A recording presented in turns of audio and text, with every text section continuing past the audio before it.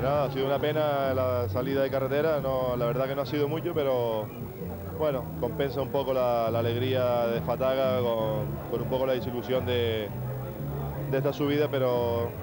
en el final contento y en realidad no ha sido prácticamente nada lo que tiene la barqueta.